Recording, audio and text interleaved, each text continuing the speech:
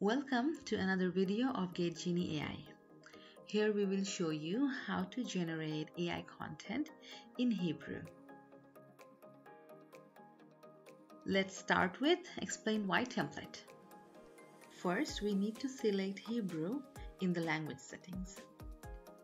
Now, add a question, then input a context of the question. Set the tone on standard and then click on Write.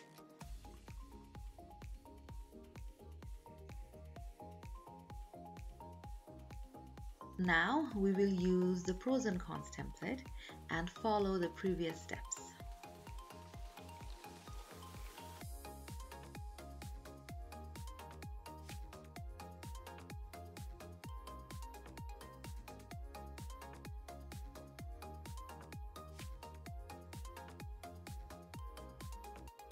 Now we will generate a blog in Hebrew. Like the previous steps, we will add keyword and context. Then click on Analyze Keywords. There you will get different titles for your blog. Then select one title. Now it's time to configure the intro and pick one from the intro options. Finally, it's time to generate the outlines.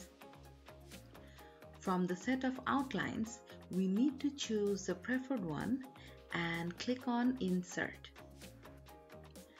Now, simply need to click on the GetGenie Expand option and generate the full block.